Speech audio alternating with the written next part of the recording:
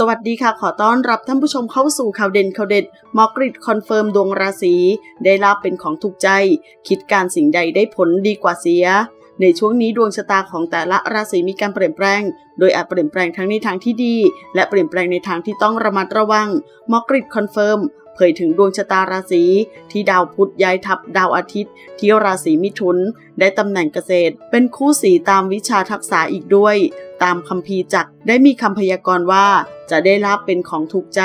จะมีเกียรติยศ ได้รับรางวัลในการแก้ไขปัญหา ผู้ใหญ่จะให้ลาบ เป็นช่วงเวลาที่เหมาะสมในการทวงหนี้ หรือเจรจาผ่อนปรนเรื่องต่างๆ จะชนะถ้ามีการโต้เถียงเกิดขึ้น คดีความจะเป็นคุณแก่เรา คิดการสิ่งใดจะได้ผลดีมากกว่าเสีย จะมีคนมาเยี่ยมเยียนได้รับของฝากของขวัญสองราศีที่ได้คุณเต็มๆจากดาวพุธคือ ราศีมิถุน ราศีธนูสองราศีที่ได้รับคุณจากดาวพุธในระดับกลางๆคือ ราศีกัน ราศีมีนสองราศีที่ได้คุณจากดาวพุธแบบนิดๆหน่อยๆ คือราศีพฤษภและราศีสิงห์ขอขอบคุณข้อมูลจากข่าวสดขอบคุณค่ะ